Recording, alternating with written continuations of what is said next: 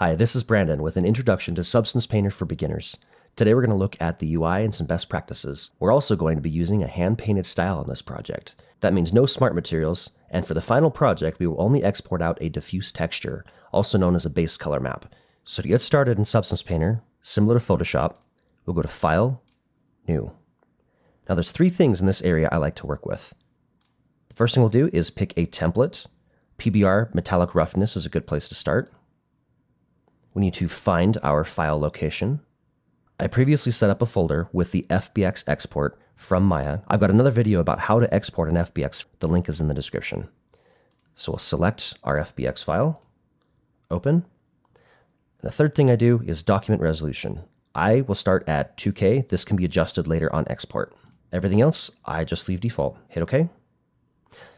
Now this will bring up our model in two views. We have our 3D view of our object, and then we have our UV layout. It's extremely important to have a good UV layout before even starting in Substance Painter. If you do need to make adjustments in your model and re-export into Substance Painter, if you've only made minor adjustments, you'll be okay. But if you add too many changes, Substance Painter does not like that, and a lot of your work can be lost in the painting you've already done. All right, so to take a quick look around the interface. The Assets panel starts up here on the left. I like it down in the bottom. Just drag it and dock it down here and you can dock any panel you like. You can move them around as you as you like. And for a hand painted project like this one, I will just skip right to the brush panel. Over here on the left, we have the texture set list. This is showing M underscore dagger as my main shader. This means I only have one material attached to the entire model, which is exactly what I want. Now, if I have multiple materials here, this will export out multiple textures. Working with a stylized look, I don't need any other materials. Down below, we have the layers panel. We'll get into this more here in just a moment. Under the Texture Set Settings tab, here I can change the view resolution of my model. So if I were to bring this down to a 512, it's going to make the texture look as if it was a 512 texture. Again, I typically work in 2K. If I were to push it up to 4K, most computers would chug pretty hard. Some even have a hard time with 2K depending on your machine. So if you find that you're painting really slowly, bump it down to 1024. Below that, we have our color channels. If I need to add anything else in a project, I would add it here. For this type of project, I don't need to. Now scrolling down, I can bake my mesh maps here. I can also bake them up here with this icon. Within this interface, this shows me how to actually bake my model. Now, I don't necessarily need to bake my model for what I'm doing. I'm doing a hand-painted style. And the reason you'd want to bake your mesh maps is if you're using any kind of a smart material or if you're projecting anything onto it with a generator, if you want to like gener procedurally generate some dirt or things like that. To go over this quickly, I would change the output size to 4K. I would rather bake the maps in a higher resolution and not need it later. That way it's already baked and it's good to go. If I had a high poly model that I wanted to bake down to a low poly model, I would go ahead and add that here. However, I'm just going to bake the model onto itself. So I'm going to use low poly mesh as the high poly mesh. On the cage itself, we can change the distances here. I would either leave this where it's at or maybe upscale it to 0.03. I would not go much further than that. It, uh, it really kind of messes up your bake if you do. Going down below, I can change the anti-aliasing. This will increase the time it takes to render, but it will also give a sharper render. Match, either always or by mesh name. If you're doing a high to low bake, you can name each piece in Maya as you export it out and you can match by the mesh name, so it will only bake things to that specific piece. Or with always, it will just bake to everything. Again, I'm just going to leave this default for now. In your 3D software, you need to name each piece with underscore low and underscore high within each high and low model in order for it to, to work with by mesh name. Okay, as far as the actual maps that we are baking, typically you'll want a normal, world space normal, I usually don't use ID, that's a different workflow. Ambient occlusion, curvature, position, thickness are all very important. And then we will bake the selected texture. This can take a few minutes, so this might be a time to get up, use the bathroom, grab a coffee. All right, once the textures have been baked, return to painting mode. Now you can see in the texture set settings, these maps have been baked out. Now the other thing I like to do is I like to add this display settings tab over here. This can be found under Windows, Views, Display Settings and then I just dock it right over here. The biggest reason I like the display settings tab over here, if I scroll way down to almost the very bottom, I can show the mesh wireframe with this toggle box. This can be very, very helpful because without it, I can't actually see where the geometry is. If I have anything where I want something to follow any of these edge loops or get a better view of my geometry, I will toggle this on and off. We'll leave this off for now go back to the Layers tab. I also like to go and change my camera view to orthographic. That gives me a little bit better perspective on what I'm looking at. Also, while turning my model with Alt and left click, I can also use Shift to snap to these different orthographic views. This comes in very, very handy when I want to paint something flat across the model. All right, as far as bringing in a reference,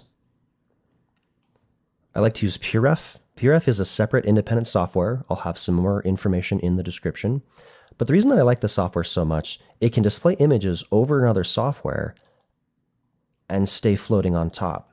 This is really, really nice because if I were to just show this in a Windows default image viewer, I'd have to scoop my Substance Painter window over and have it sitting next to it. I can bring this in, just set it right on top, use right mouse to move it around, left mouse to move the actual image. I can zoom, I can do all kinds of things.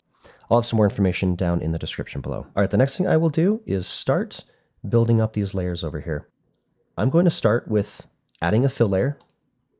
The first thing I'm going to do is I'm going to add a black mask to this. Adding a black mask is a pretty staple way to work in a non-destructive workflow. It is possible to work on one layer and continuously be color dropping and painting your model. However, I like the non-destructive nature of being able to work within several layers and add a different color to each layer. I can paint within that mask, add generators, paint layers, fill layers, all kinds of other things over here. It's a pretty good workflow.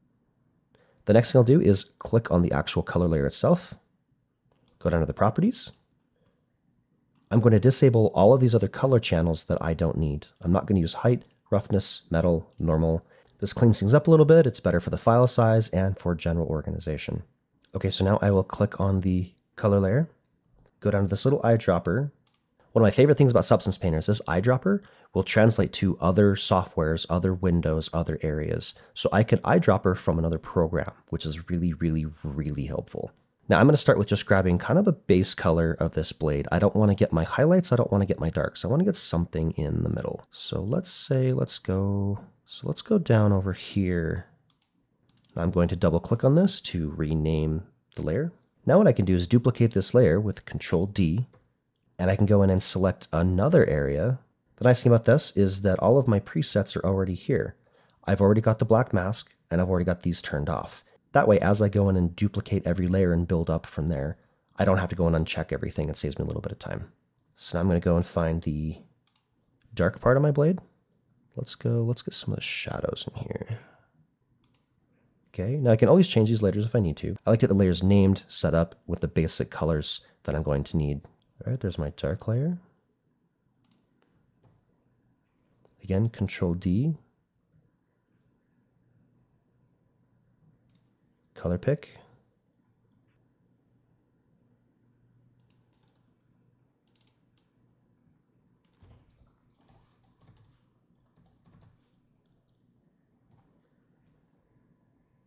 Now, I typically like to work with the darks below and the highlights on top. And that's how I will usually paint, is I will start at the bottom, work my way up, adding highlights to each little section I've done. And once I've got all these kind of base colors set up, it's really nice because I've already got the layer there, I know what to work with, I know what I'm doing, and this kind of starts to guide my process from here. So I will just look at what colors I'm going to be using, and I can always add more if I need to later, but this just gives me a direction to start. Now over here on the far left, I have the paint tool, I have an eraser tool, I have a paint along path tool, which is a new addition to Substance Painter. I have a polygon fill tool. Now the polygon fill is an extremely useful tool. So go ahead and select that. And down over here in the properties, when I have my black mask selected, the fill mode, I can either do individual triangles, individual polygons, a mesh fill, which is an entire mesh, or if I go to the UV chunk fill and the color selection is set to white, it will now select the entire UV chunk and fill it with the color on that layer. So I can just marquee select across the blade, and it fills that entire UV chunk. This is opposed to if I were to do just the polygon fill, it would actually only select individual polygons at a time, which is also very, very useful. The mesh will select the entire mesh. Now I have these cut into separate pieces. As I exported them out in Maya, this is kind of like a paint bucket tool for anything that's connected. So if I were to go and do these individually, it would work like so. I use the UV chunk fill most often. So I can go through and start to just get these started. And I'm just using this kind of a base color that is set up on everything. All my, my basic mid-tones are what I want to work with here. And this, of course, is just filling this from all of my UVs that I've had selected here. Oops, we don't want to get that whole piece. So this instance, this is where I want to go in and do the polygon fill. Okay, and because my UVs are stacked, this will also do the same to the back. Saves me a little time there. Something else I like to do is the material view.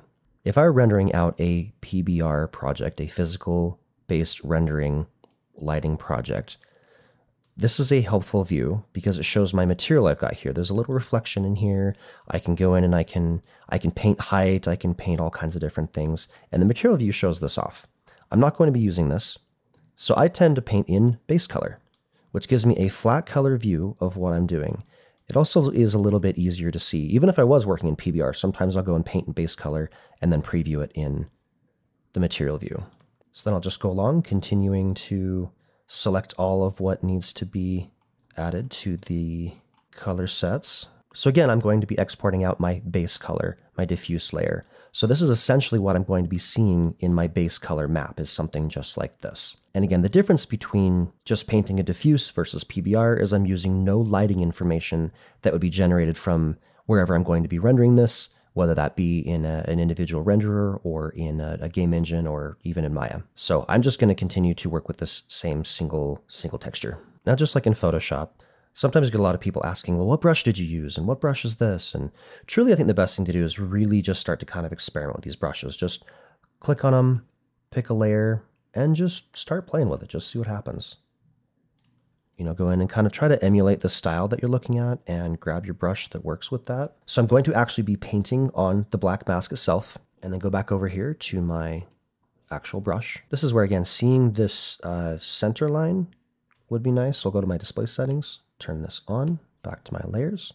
So I'll select a brush and I'll just kind of start to just work with it and see if it starts to kind of fit the concept art and see if this is what I want it to do. So I highly recommend just exploring, just, just kind of test your brushes. Now also with these brushes, if I go over here to my properties, I can scroll down and this is where I can adjust things like the brush size, the flow, the stroke opacity, the spacing, how often it will actually stamp out each one of these little uh, brush images, I guess, if that makes sense. We can adjust our size jitter, flow jitter, angle jitter, position jitter. Size jitter, for example, right now it's set to 100%. So that means all of the size, all of the jitter is just all to one size. If I go and bring this down, it will now change how it stamps these out. It'll do big and little pieces. Flow will do the same thing. So if we grab a different brush, see it changes that flow. Angle jitter, maybe get a brush like uh, something more non-uniform. As you can see right above here, it will change whether it's very uniform or rotate the angle of how this is stamped out. Now, something else that I find to be extremely helpful is there is a keyboard shortcut helper. So if I hold down Control, it will show all of the hotkeys that I can use with Control. Same with Shift, same with Alt. This works on both panels. Now, this is being covered up by my concept art over here. You just hold it down for just a second, and this starts to show up. If this doesn't come up right away, then you can go to Edit, Settings. If you'd like to show the keyboard helper shortcuts, make sure this is checked. Hold down your modifier keys like Shift, Control, or Alt, and it will show these options, and this can help you with learning these shortcuts. All right, we should also talk about painting with symmetry. This little button up here will draw a line down the middle, and now, however I paint, it will actually make this symmetrical and it'll paint on both sides, which is which is a nice time saving feature. Now I can also adjust my blend layers just like in Photoshop. So I've got normal, pass through, multiply, divide, all these options in here. I typically start with normal and then we'll adjust them as needed. So if I wanted to paint the, I don't know, say we'll add the little bit on the shadow in here. control right click We'll change the brush size. So say we go in and paint this over here, add a little bit of this in here, and maybe we'll drop a little highlight in over here. And if I wanted to go in and change this to pass through, replace, multiply, I can work with those over here. Now, before I get too far ahead of myself, I should also go and save my project. I'm just going to do save as. Again, PureRef stands on top of every other thing, which is great. Now, I typically like to name my projects what they are, in this case, Dagger, and then Substance, but then I will also name it underscore 001. Every time that I sit down to work on this project, I will then open it and immediately rename it to dagger substance underscore 002 and so on. That way, if something happens with my file, it corrupts, whatever, I have a bit of a backup. Now, Substance Painter also does have an autosave feature, but I like to save in iterations as well, just to make sure I've got my bases covered. Now, when I'm painting, if I'm just painting straight as is, my colors tend to just come out very, very bold. There's no blending happening here. Now, I do have the pressure sensitivity with my pen, which is fantastic. However, if I wanted to paint and get some more blending as I paint, I can work with the stroke opacity and the flow. The difference between these two can be a little bit confusing, but stroke opacity stays the same opacity no matter how many times I go over that same area, unless I lift my brush up and come back down. Then I can layer and build from there. Flow, on the other hand, if I start to paint, I can slowly build up certain areas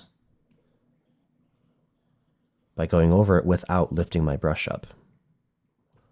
And if I were to drop the flow way down, you can really see this. So if I kind of wanted to build up something, it's much easier to build up a gradient using flow. So I use both of those quite often. I use flow more often than stroke opacity. Another quick tool is the lazy mouse.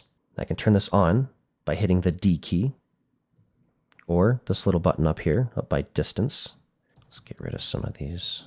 And based on the diameter of this gray circle around my brush, it's not going to start painting until it leaves that circle. And that's what this distance is. I can make this smaller, or I can make this larger and that just determines how far behind the brush the line will actually flow. Now another feature that's kind of handy to work with is the smudge brush. So if I were to paint something, I don't know, so we'll paint something dark, we'll paint something light on top, and I go over here to this smudge, this will actually blend the two together. Now really, because I'm painting on separate layers, it only affects this top layer, but it will smudge it and blend it with that bottom layer. So this is another way that I can get kind of a hand-painted look, a hand-painted style, by pushing and pulling this paint and this color. So again, it works in layers. And if I decided to use an eyedropper tool and work on a single layer, I could paint as if I were painting an oil painting. But my favorite feature about digital technology is the undo button. So I like to use layers just for a non-destructive workflow. But this uh, this smudge brush is, is, is quite handy.